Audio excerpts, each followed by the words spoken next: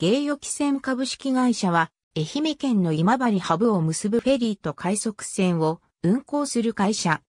博多、大島大橋開通前年の1987年に航路を運航してきた愛媛汽船、因島汽船、周辺地方自治体が出資して、芸予観光フェリー株式会社として設立。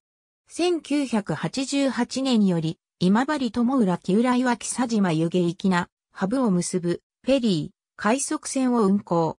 開業当初は、業績が上向き、3年後の1991年には、旅客が33万人、車が8万8000台と、ピークに達した。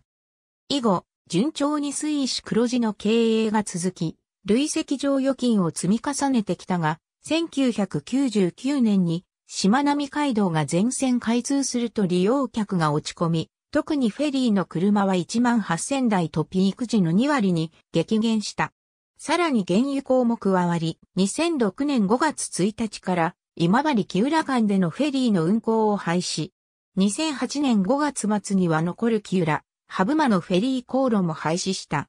2009年6月1日に芸予汽船株式会社に社名変更。現在は快速船のみを運航している。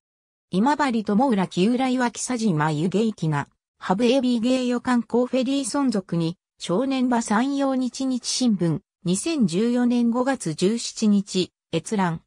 芸予観光フェリー因島博多5月末で廃校。瀬戸内タイムズ、2014年5月17日閲覧。ありがとうございます。